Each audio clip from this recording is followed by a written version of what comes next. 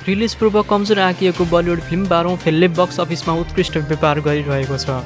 Bollywood अभिनेत्री कङ्गना रनावत अभिनीत film तेजसलाई समेत यस फिल्मले पछारेको छ।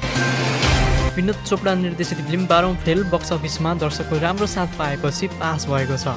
फिल्मले पहिलो हप्ता तेह्र करोड विकेन्डमा छ करोड सत्तरी लाख कमाएको थियो। दोस्रो हप्ताको विकेन्डमै फिल्मले आठ करोड बढी छापेको छ। भारतीय पाँच करोड आसपासमा निर्माण भएको यस फिल्मले आजको दिनसम्मको रिपोर्टलाई हेर्दा तेइस करोड हाराहारीको व्यापार गरेको छ। फिल्मको कथा मनोज विक्रान्त मेसीमा केन्द्रित छ जो बाह्र कक्षाको बोर्ड परीक्षामा फेल हुन पुग्छ।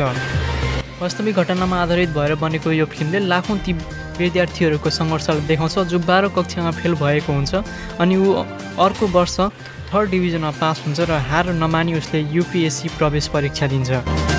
फिल्ममा विक्रम मेसी प्रमुख भूमिकामा छन् भने उनलाई मेधा शङ्करले साथ दिएकी छिन्। फिल्म हरेक किसिमले शानदार छ। फिल्ममा कलाकारहरूको अभिनय हेर्दा लाग्छ साँच्चै यो घटना अहिले मेरो आँखा अघि नै भइरहेको छ। यसको मतलब यो हो कि कलाकारहरूको अभिनय उत्कृष्ट छ। निर्देशन पक्ष पनि दमदार छ। समीक्षकहरूले पनि यो फिल्मलाई राम्रो प्रतिक्रिया दिएका छन्। एकपल्ट हेर्नै पर्ने फिल्म हो बाह्रौँ फेल। चलचित्र सम्बन्धी अझै धेरै जानकारीको लागि हाम्रो च्यानललाई सबैले सब्सक्राइब गरेर साथ दिनुहोला। Thank you every